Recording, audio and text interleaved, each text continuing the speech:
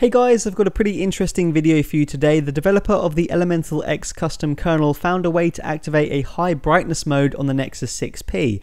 Now this mode actually gets your display brighter than anything possible with the brightness slider, even with it set to maximum. Now for this you will need the Elemental X custom kernel. It won't work on the stock kernel I'm afraid, so you will need to flash that if you want to try this out.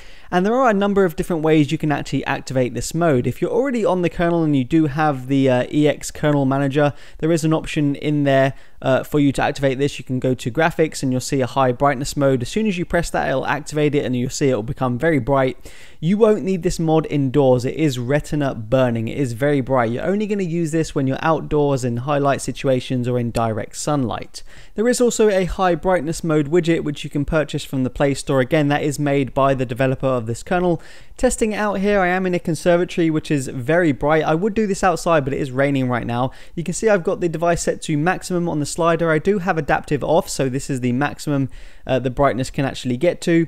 So the display is viewable right now. There's not really any issues, but if we turn HBM mode on, you can see it adds another level of brightness, which just makes it a little bit easier to see, especially if you're in a bright room or if you're in direct sunlight. It's going to help you immensely when you're in direct sunlight over the stock settings. So there's quite a big difference here between HBM mode on and HBM mode off. So it's a worthwhile mod. So in terms of how you can actually activate this, well, I have a few different methods. The toggles you can see on the bottom left hand corner, I actually don't use those. I made these specifically just for this video to turn it on and off easily. Um, I actually use Tasker, which means it automatically turns on the HBM mode when the ambient light gets to a certain level and it turns it off again when it drops below that light level. So for me, it's all automatically managed on my device using Tasker. So if I step outside and it's a bright day, I turn my phone on, high brightness mode will activate. If I go indoors and it's below that light level, it'll automatically turn off. So it's all uh, done for me. I can actually show you that Tasker task right now. It's not very difficult at all. We'll just lower my brightness because Tasker is pretty much all, uh, all white colors.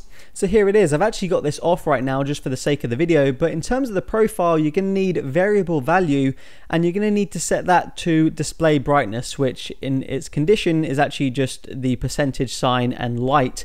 And then I've got greater than 450. Now, the light value just depends on when you want it to activate, but the actual task that it activates when it reaches that light level is this run shell command right here. And I will put this in the uh, in the description so you can copy and paste it. You will need root as well for this task to activate. And of course, for the HBM mode off, which is an exit task here, it's just echo 0 instead of echo 1, but it's exactly the same command.